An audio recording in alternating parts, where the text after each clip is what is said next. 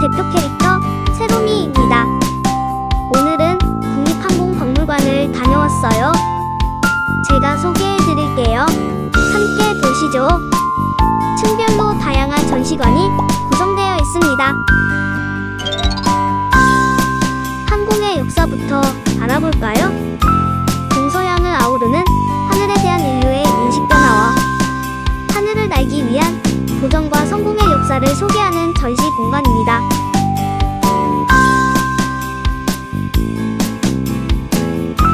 라이트 형제의 복엽기 플라이어호도 볼 수 있어요.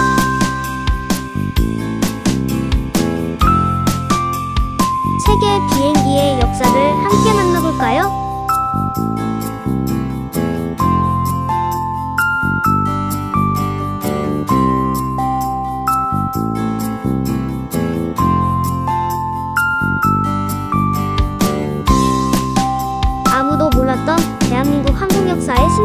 이야기.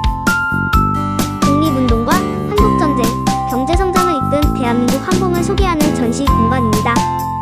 이곳에서는 대한민국 임시정부, 한인비행학교와 일제강점기 항공독립운동가들의 모습을 만나볼 수 있어요. 머리 위에 실물항공기가 둥둥 떠다녀요.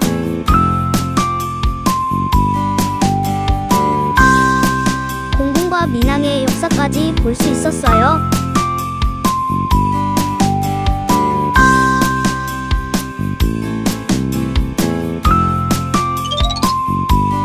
이층은 항공산업에 관한 전시 공간입니다.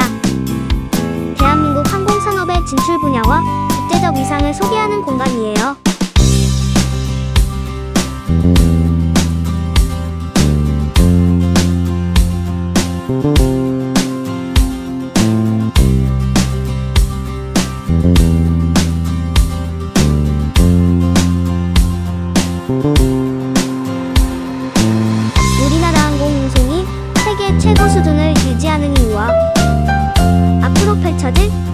스마트 공항을 소개하는 전시 공간입니다.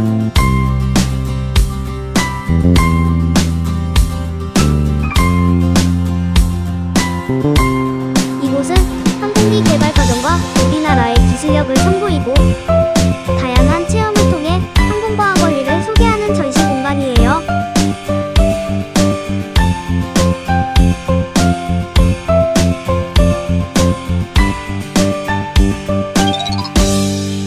마지막 3층으로 함께 올라가 볼까요?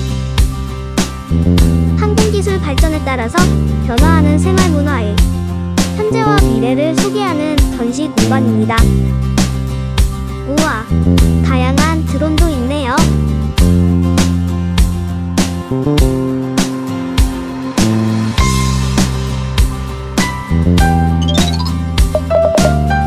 국립항공박물관에서는 전시품